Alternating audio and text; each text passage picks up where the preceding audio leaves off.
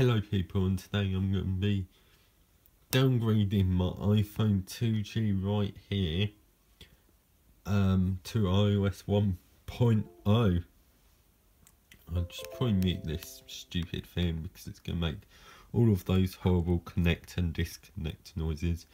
As you can see I've got lame does and a lame does inside of the lame does in the lame VM software which might be the wrong piece of software because um, apparently I need XP I think. But the only problem is my XP install is 64 bits so I'm gonna have to like completely reinstall get another XP install and I'm just not in the mood so yeah. Of course in order to downgrade you need the IPSW which I shall get See in a sec.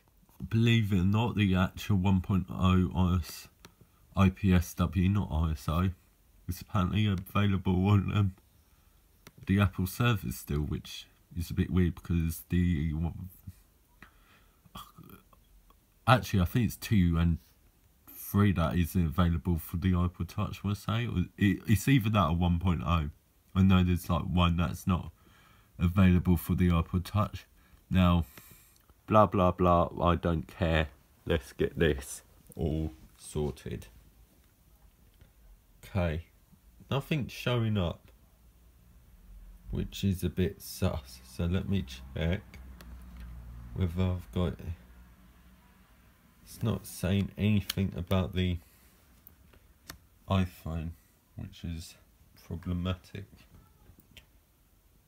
also Kingston USB flash drive, excuse me, Philips. I guess they use Kingston, maybe Kingston designed by Philips, I don't know. But yeah, I'll try and sort this out, see, try like a different cable or something. There is, Apple iPhone.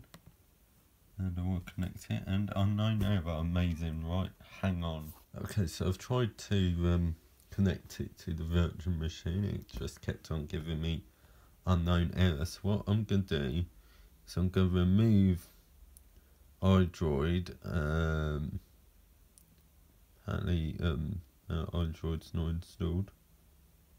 Apparently not sure how exactly what works but I'm going to remove open iBoot and put in recovery slash DFU mode whatever it's called and see if that helps. See you sec. Okay, I've come up with a genius idea of um, using my pa Power Mac G5, could be even I am my PowerBook G4, or even my eMac. But no, I'm going with this just because, you know, the fastest because it's the most powerful.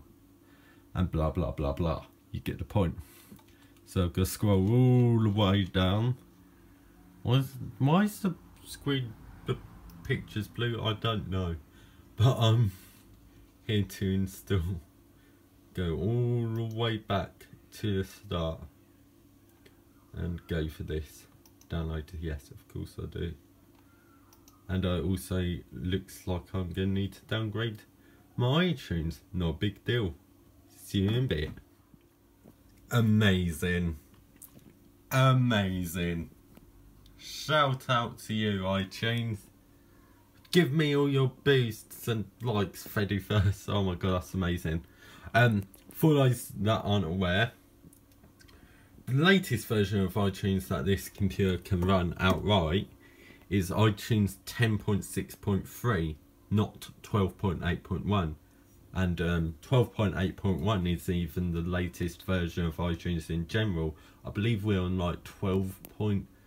10, 12.12 I would say exists. But either way, it's definitely not 12.8.1, that's the latest version. So, yeah, amazing. I don't care about my iTunes store request. Oops, I actually clicked the iTunes store request. Um, yeah, so the goal is um, to get the iPhone to appear. So I'm going to try and attempt number God knows what to put in DFU mode. I'm not even sure if it's actually plugged in at all. But yeah, See you a sec. And it's gave me error 20, whatever that means. Who knows what that means. Genius idea. How about I just use Legacy iOS Kit? Okay. And here we go.